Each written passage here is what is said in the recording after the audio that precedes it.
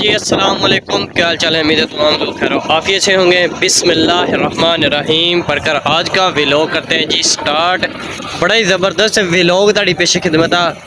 माशाल्लाह जी, मौसम बड़ा प्यारा वा अलहमदुल्ला अज बड़ा इंपोर्टेंट काम मुरबे कर रहे हैं जी। अज हारवैस्टर नाल जी गंदम की कटाई हो रही है।